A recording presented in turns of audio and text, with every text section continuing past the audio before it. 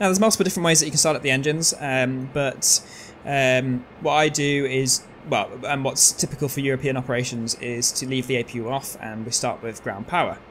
Um, the APU startup is quite simple, basically. Um, you start up the APU from working left to right. Um, after you've hit the power button, you need to wait until the start illuminates, hit the start, and then wait a few, uh, like a minute or so before you sit on the genera generator. Um, leave the bleed air off because you can't start the engine with the bleed air on. Um, and then uh, that's basically it. You can do a battery start, but that's not really recommended because um, obviously drains the engine quite considerably. Now to start um, with ground power with um, GSX, obviously it's a bit of a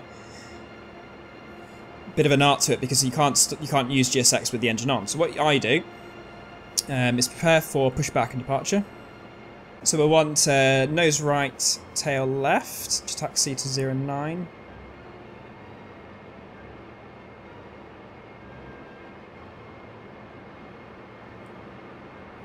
Basically, yeah, you, you allow um, GSX to set up, and then uh, you start the engine whilst uh, before you release the parking brake, and that doesn't muck up the, uh, the system.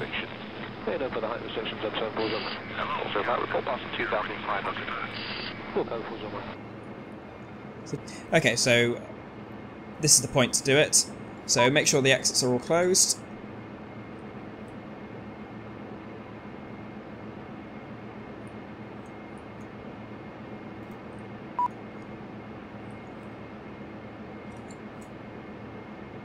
So make sure the doors are closed on the uh, middle flight panel. Should have done it probably a little bit earlier, but not to worry. Switch back to electrical system. Uh, and GSX will continue to do this, but just ignore it. So what you need to do is ensure that you've got the main bus tie on, and then switch to number two, and then hit that start button.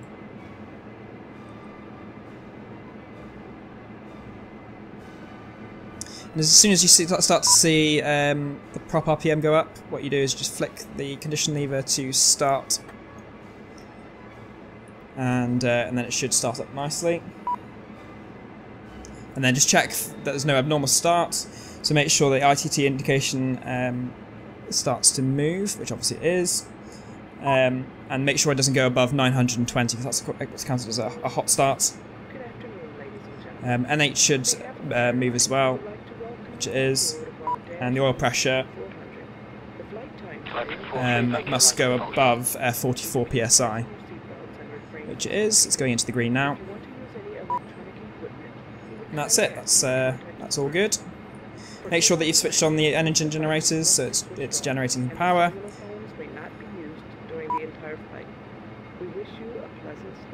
And then you can uh, turn off the um, external GPU. Because you've got enough uh, power from the engine number 2. And then you can get rid of the external power as well.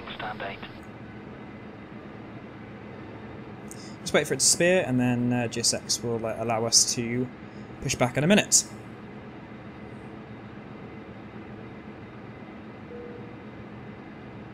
Ladies and gentlemen, may we have your attention to the International Safety Regulation. Locking gear.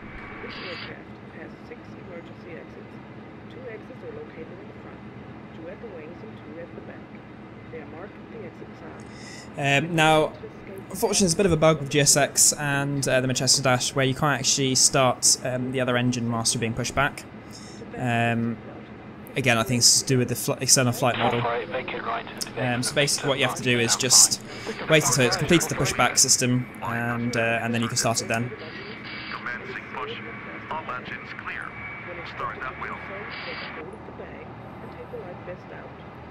Pull the life vest over your head. Fasten the life vest by connecting the hooks to the ring. Pull the struts until the life vest is properly adjusted. And actually, what I should have done was just switch the uh, beacon to red before I started. So there you go. Can't be perfect. what that does is basically just warns the ground crew that you're about to start engines.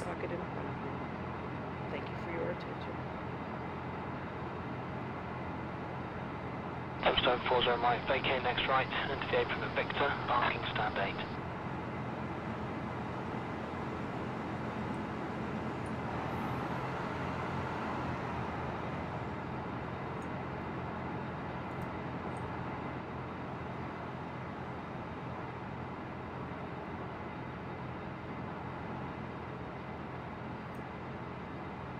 another flyby in a BMI regional, ERJ145.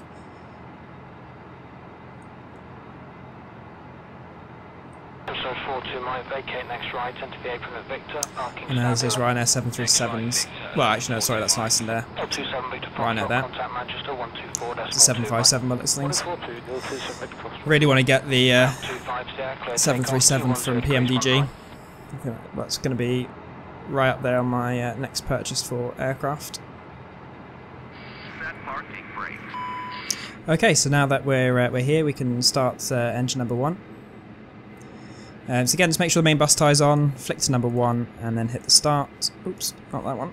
Swing around a little bit, and then uh, again, keep an eye on. Make sure that uh, the NH is starting to move. Then bring the condition lever forward, EC639, taxi uniform, holding point Alpha 2. and then just keep an eye on the on the temperatures and the oil pressure. Make sure uh, it's not an abnormal start. Tow truck disconnected. Bypass being removed.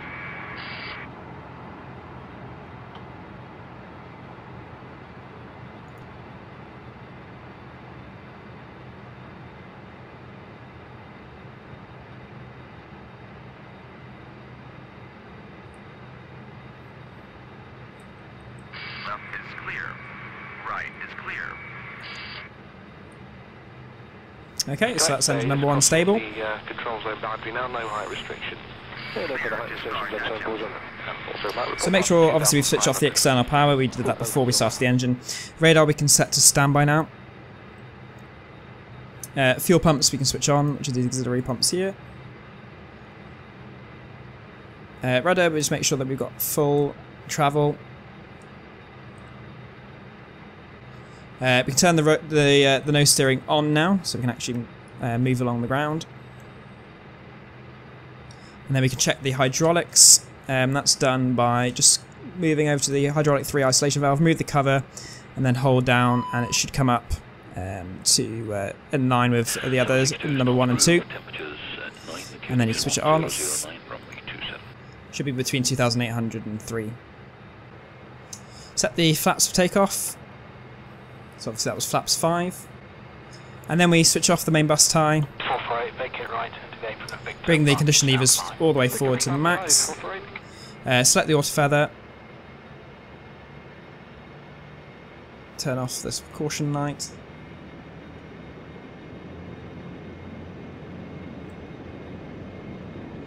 And then uh, we can switch the engine bleeds on, and uh, we'll, uh, we'll switch to normal, and then we can switch it off um, back to minimum once we're ready for takeoff. Switch on the taxi light. Tempstone 40 right, vacate next right, enter the apron at Victor, parking stand 8. Ground control. So I should have done that before we push back. 5A. Request start up and push back. VE 1095A. Startup and pushback approved. Approved. VE 1095A.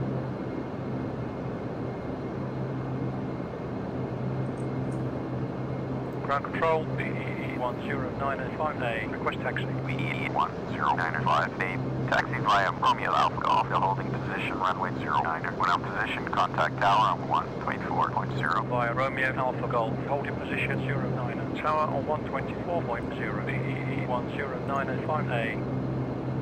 Oops. Okay, so we can get taxiing. I'll uh, use a. But before we do, make sure that your uh, control lock's on. Otherwise, you can uh, set the wrong power. Bring that forwards. Try and keep it. Try and keep the propeller in the ground range. It's quite easy to move out of that. Um, I tend to move out of it just to kind of get moving. But once you're moving, try and keep it in the ground range. Test the brakes. Which are working fine. Uh, flick the takeoff warning and there's no noise, so that's uh, we're in the correct configuration. And try and keep uh, around 20 knots of ground speed, and 10 for when you're turning.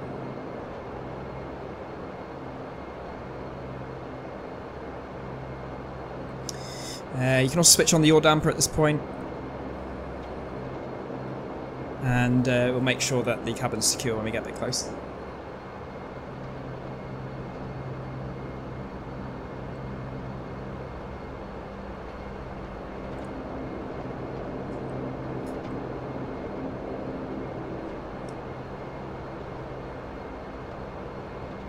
343, proceed to I don't know why there's some uh, what look like typhoons there. Don't think East Midlands has RAF aircraft, but I could be mistaken.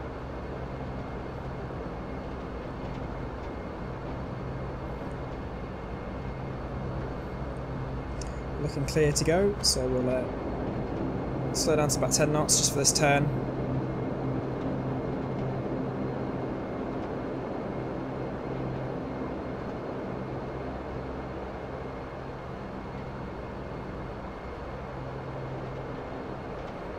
And then we can taxi down uh, perpendicular to the runway, past the big cargo uh, hub, which is just down the end here. We can speed up to uh, about 20 knots now, now that we're on a nice long straight.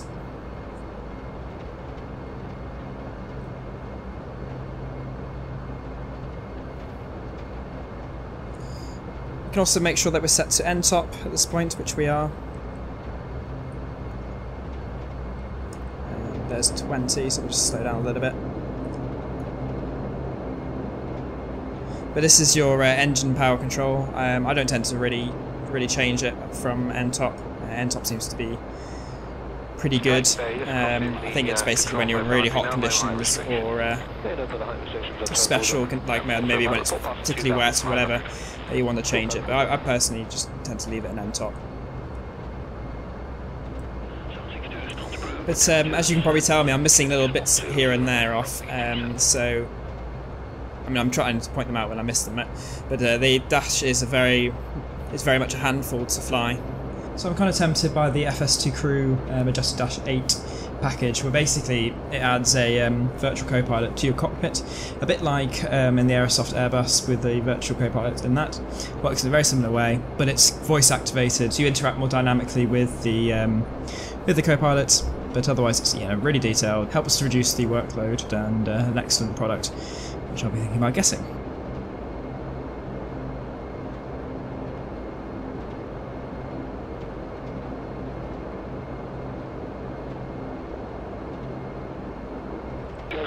So here's the end of the runway, because uh, that just carries on. The head just carries on to the um, to the cargo centre.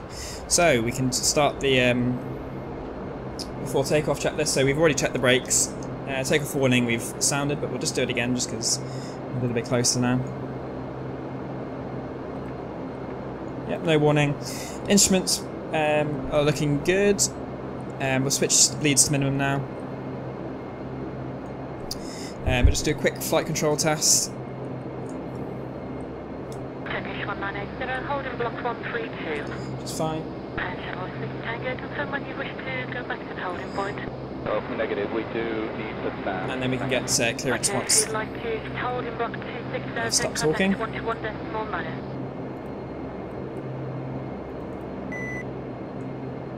Tower, BEE 10958, on holding position, runway 09. BEE 10958, line up runway 09er. Lining up runway 09, BEE 10958. Right, so uh, we'll turn on the white anti-collision lights. Uh, run, we'll put on the uh, runway lights in a minute. Turn off the control lock. Transponder will uh, set on. You hold down the base of the button next to the transponder. Pitot static we can turn on now. Sabina 6, uh, hotel contact Turn on the PTO pump. And the other fuel pump, I don't know why it switched, off, switched itself off. Uh, and then on the uh, autopilot, um, select altitude, heading select,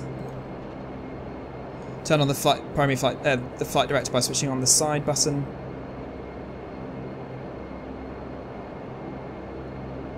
That also does the go around.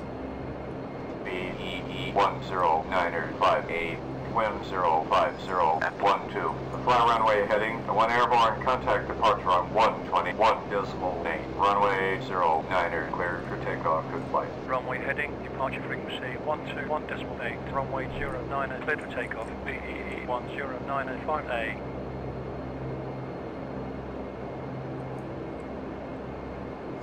And then uh, we can get going. So bring that speed ru- throttle up.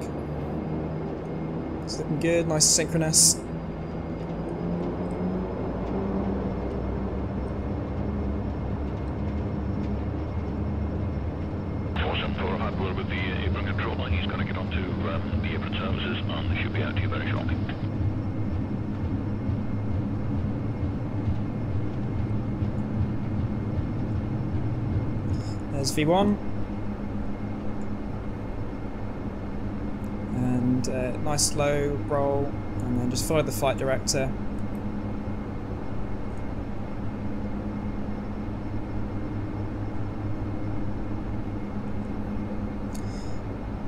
There's a thousand, so we'll turn the autopilot on, switch it to nav and uh, IAS mode, and then hit the gear up. Station calling. North Bravo, Foxtrot, Lima X-ray. Top Bravo Foxtrot Lima X-ray. You are clear for the approach report localizer established. Echo, Lima X-ray. Departure control, the And then set the IAS mode um, for, I I don't know, 185. Via BPK2 for climb into flight level 90, the EE Switch it to uh, 9000. Departure control 888. With you, passing flight level 70 for 4000. In contact. Descend 4000. Descending to 4008. And then bring the flaps up. Thames, uh, good morning, Lonic 06, walking 7200. So, Flaps zero, autopilot's on, bleeds are um, are minimum, so we can switch it to normal now. Condition levers we can bring back to 900. And then the after, after takeoff checklist, which is landing gear up, flap zero, bleeds on, climb power set. For the whiskey number to go uh, photography, the Isle of Dogs, and then routing west to uh, Mayfair. So um, I tend to keep 185 until uh, uh, the speed on 185 until we've crossed 10,000, um, and then I um, change the, the speed to 210. We were walking metro. I think in the in the checklist it does say just to, keep it on 210, but I, I I prefer to climb a little bit faster. Departure control 616. With you on flight level 110. 616. Identified.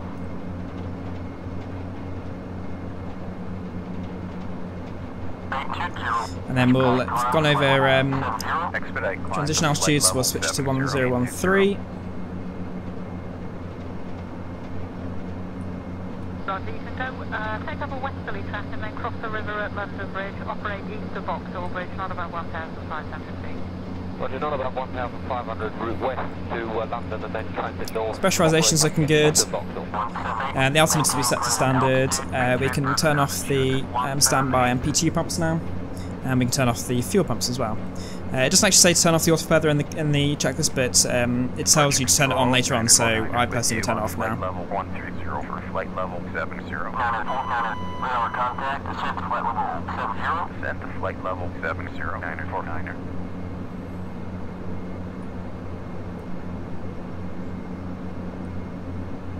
southern tip of the Isle of Dogs, clear for the Fokker 50 to depart runway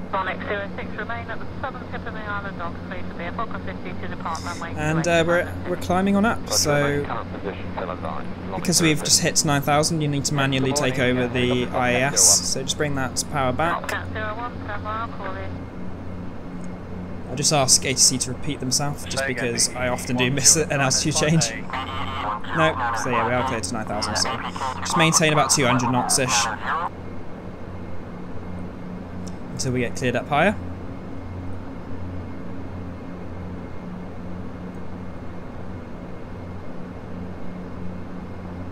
Okay, so we've crossed 10,000 feet, so I'll bring that speed um, up to 210. And uh, you can set um, at this point the condition lever is to 850 for a quieter climb, a little bit quieter for the passengers. Um, but personally, I'll just leave it at 210 until we're in the cruise, and then I'll bring the condition levers back. Alright, so we've got the ice detected um, warning. So what you can do uh, if you get this warning is um, switch the airflow mode onto fast, turn on the prop heat, engine intakes open, rest speeds to increase, uh, and then uh, windshield heats on as well. Nope, not the wipers. Don't want them on. But uh, if, you, if, you, if you notice, um, there's a bit of ice on the windshield. Just park the uh, windscreen wipers. But that should clear. Clear to land, runway 09er. Otherwise, we can enjoy some outside shots until I get up into the cruise. Clear to land.